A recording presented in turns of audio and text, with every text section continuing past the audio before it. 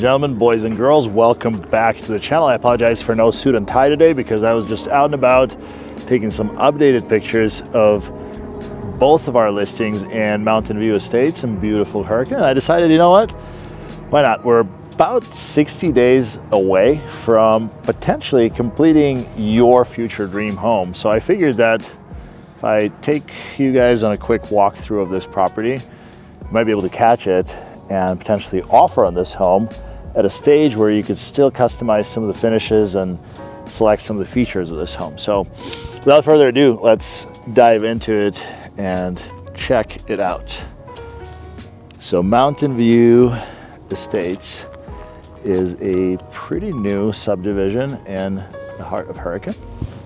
And this particular property sits on a massive 0.4 acre lot with really, really cool, expansive rear views.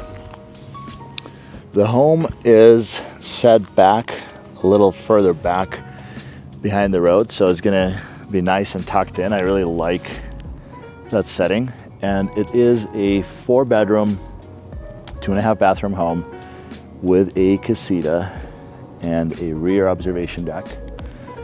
I know that if any of you have been follow me, you know that I do appreciate a good garage setup. So let's start there. Now this home is just getting ready uh, to be insulated. So we're at a relatively early stage. So don't judge this home by, um, by its landscaping because that hasn't gone in yet. one important thing to notice too is all of the massive side parking that you're going to have beside this huge RV garage. This 0.4 acre lot is quite spacious for this area and the best part is don't have any rear neighbors. It drops off into a little ravine directly behind and gives you even more rear privacy. So the garage is L-shaped. You have the entry for your two car garage and that's the extra wide extra tall door for your RV garage. For those of you that are curious, I will post in the description below, I'll post the link to the full MLS listing. So let's enter through the garage. I just want to show you guys the magnitude, the size of this RV garage. What would you park here? I'm curious. And please don't say Class A. I mean, Class A would be great. It'll definitely fit in here. But I want to hear some more creative answers. If you had access to, I know what I would do. I know Michon would buy a lot more Christmas decorations and put them all over here. a lot of people put rafters up here. And another thing you could do is you could potentially add another roll-up door back here and have a gym with absolutely killer views. Let me peek out here real quick. Sorry, I'm all over the place today.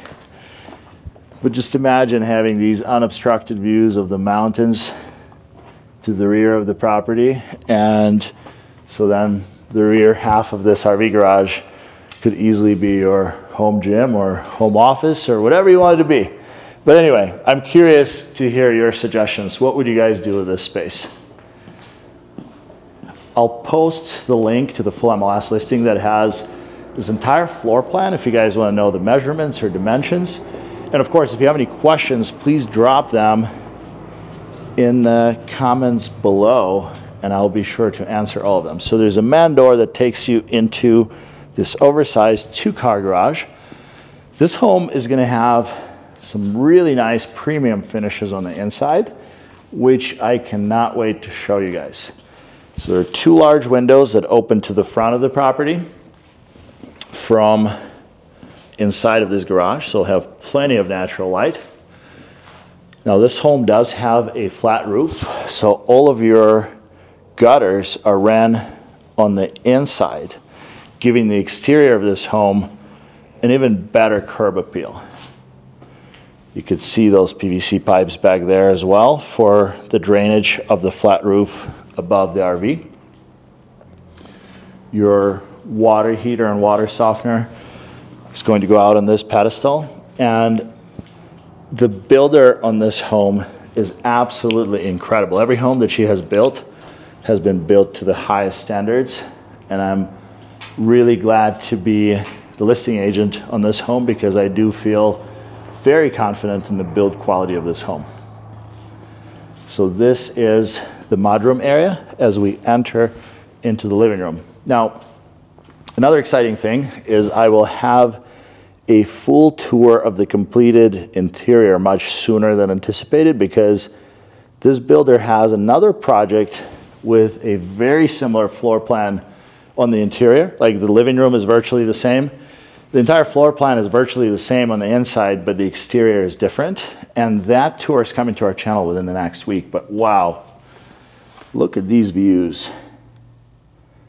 There is a private airport just on the other side of this hill. So there's some air traffic, nothing that's immediately over the top of this home, but it's kind of cool to see some of the smaller private aircraft in the distance. Have beautiful views of the local mountains and unparalleled privacy with having some homes further back, probably about a half a mile to a mile back nothing that's immediately directly behind this property. Let me turn around and uh, talk a little bit about this space. So you will have a massive entry with high vaulted ceilings, high vaulted ceilings throughout the living room. You're going to have a fireplace on this side. So this is the living room side. Let me back up a little bit to give you guys a true perspective on this space. It is quite large is a large window into the dining area. This door will take you into the backyard. And you're going to have cabinets all along this wall, a massive center island right here in the middle. There will be a great hidden pantry that takes up all of this space back here, and it will be covered with the cabinets on the exterior. So, uh, unless you know, you don't know. Okay, I know that it's probably really hard to tell what are we looking at here because uh, none of the sheetrock is in place yet. And so just, just take my word for it, okay? this is the entry into the primary suite, master bedroom, however you want to call it. The master is going to have three large windows so you can take in the views of the mountains. Get a little bit closer to the window so you guys can get a better feel for the views and the privacy. And it is quite spacious. Again, I apologize for the current state. I know it's really hard to tell.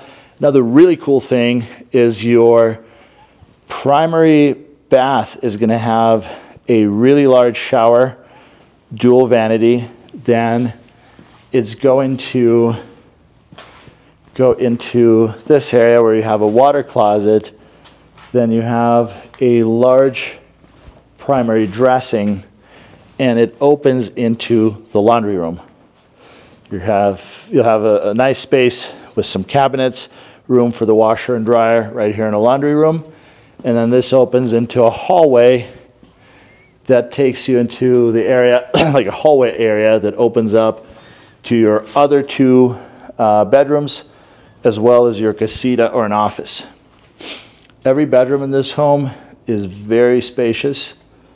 Again, I know it's really hard to tell from just watching the video, but I will also post a link to the full MLS listing that has the plans of this property so you can look at the exact dimensions of every room.